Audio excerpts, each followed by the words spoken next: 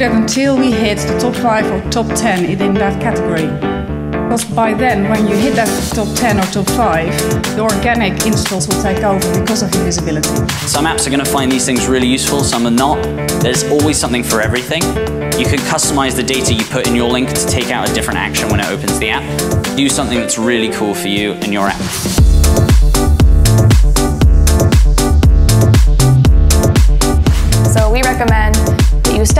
LTV bidding an LTV model um, and that's at the device level, at the country level, at the publisher level, and um, really real, uh, recognize what the value is of those users in each of those different channels so that you can optimize your bidding strategy accordingly.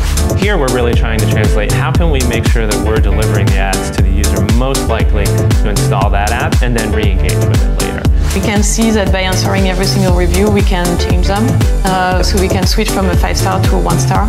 And when we've got the feature requests uh, that we have released, then uh, we, we re-unpause the customer again and we say, so we've got the new feature you wanted, please update the app again and you, you're going to be satisfied and that changed the ratings.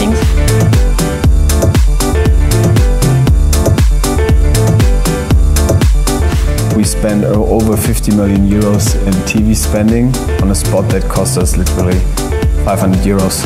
So what we started from the very beginning is actually exactly that. Uh, uh, tell them what were the most important events for us and uh, uh, get to the most important, which is the booking. It's not really about install. Once we know that, I think that will then lead into all of the strategic communication and download stuff that you need to do.